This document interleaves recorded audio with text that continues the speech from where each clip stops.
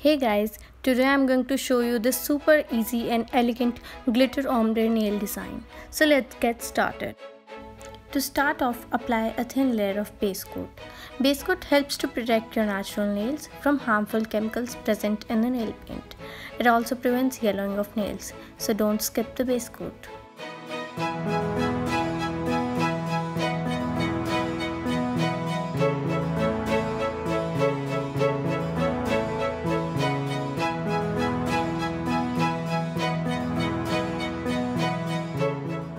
Next apply the base color.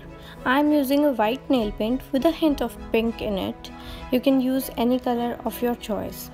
Apply it evenly on the nails.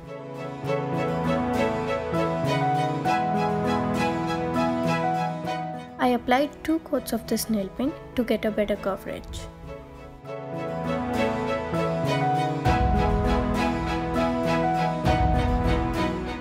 Now to create the ombre effect, use a glitter nail paint and apply it evenly on 3 4 of your nail.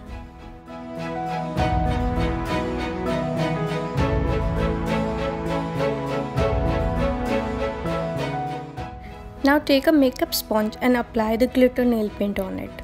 The sponge will absorb the liquid part of the nail paint and will leave you with saturated glitter particles.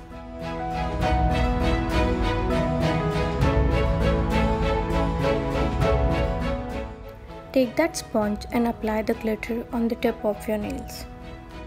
Do so by dabbing the sponge on your nail.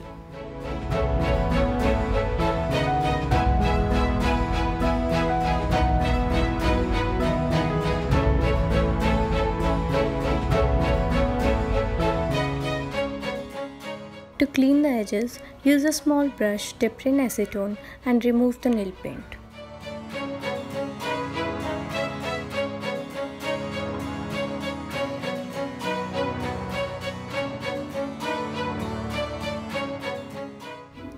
Last step is to apply a layer of top coat to protect your design.